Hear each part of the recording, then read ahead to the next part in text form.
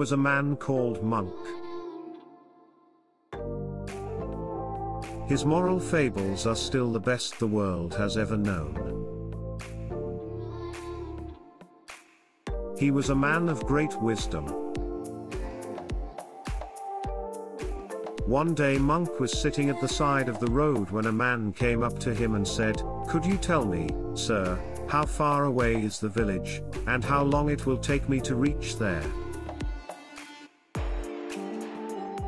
Monks said nothing. He got up and walked alongside the man. The man was embarrassed and also a little frightened by this strange behavior. He asked Monk not to trouble himself, all he wanted to know was the distance, and then he would be on his way. Monk said nothing but continued to walk with the man. After some 15 minutes he stopped and said, It will take you two hours to reach the village. You could have told me that at the beginning.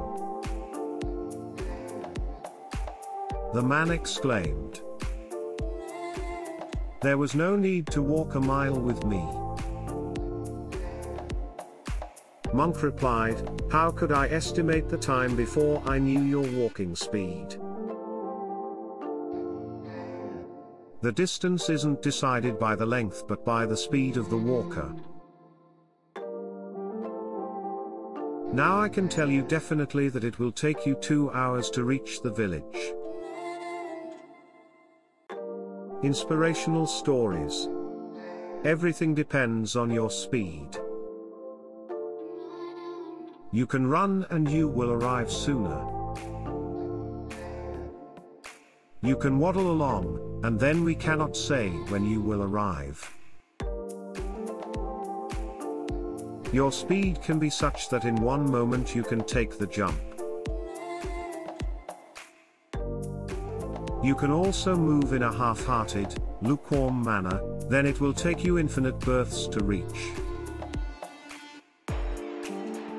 If you stake all your being without holding back any part of yourself, if you put in all your effort with the utmost intensity of your life form, you can reach here and now. For this is no external journey, it is an inner journey. You have only to turn inside from wherever you are.